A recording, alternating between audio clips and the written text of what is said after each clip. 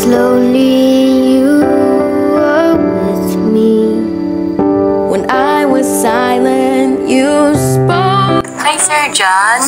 Happy, happy Teacher's Day. Thank you for always push me sa lahat ng mga bagay na mang na baging gadua-dua ako gibuon. Pero, andyan pa pero may para tiwalaan ako. Lalo na kan time na need ko po ning mga advice bago maglago sa college. So, ano sir, it means a lot to me.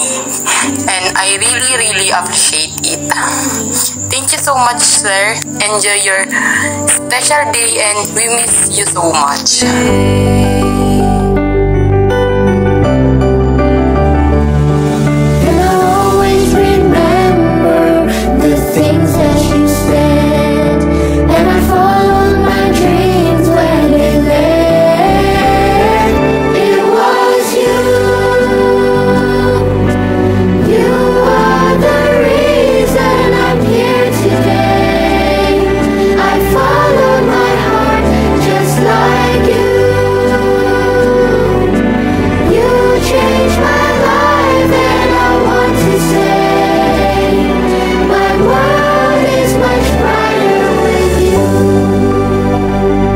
Teacher's Day, Sir John. I miss you so much. We miss you.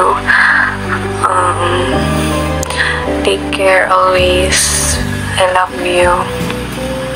From Ashley.